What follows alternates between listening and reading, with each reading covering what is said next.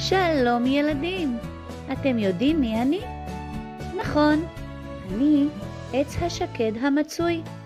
אתם מכנים אותי השקדיה. עוד מעט מגיע ט"ו בשבט.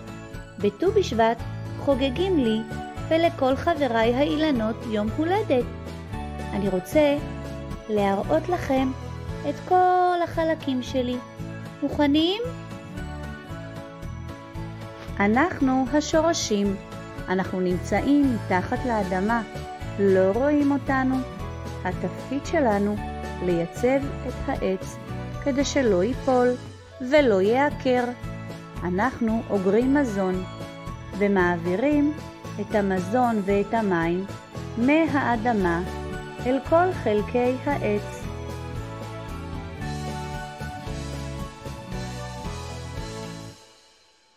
אני הגזע. אני חזק ויציב ואיתן, כי אני נושא עליי את כל הענפים, העלים והפירות.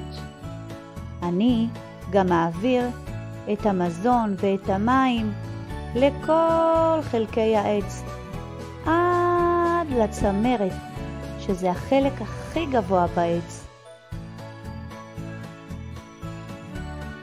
אנחנו הענפים, אנחנו ההמשך של הגזע שמסתעף ומתחלק לחלקים. עלינו גדלים העלים, הפרחים והפירות.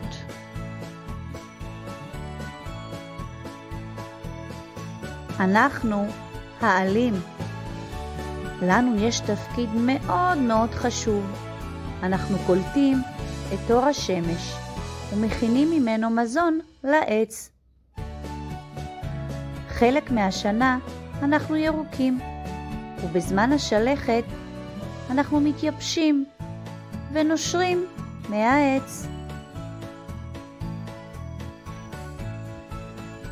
אנחנו הפרחים, צבענו ורוד או לבן.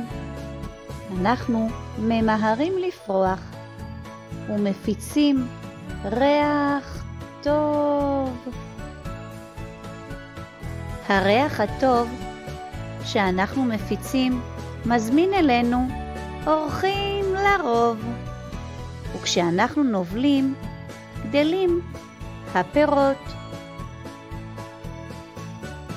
אנחנו הפירות, הבית של הגלעין, בשרניים ומכוסים בשערות.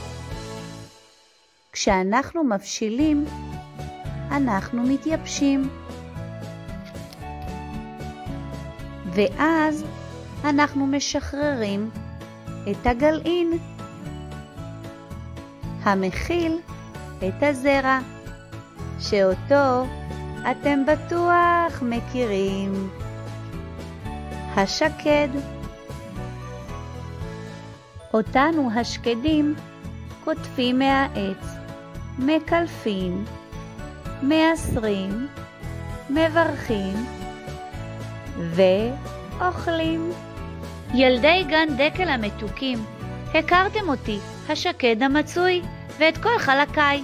אני מאוד מקווה שנהניתם. תוכלו לצאת לטיול ולחפש אותי, ולאחל לי מזל טוב ביום הולדתי.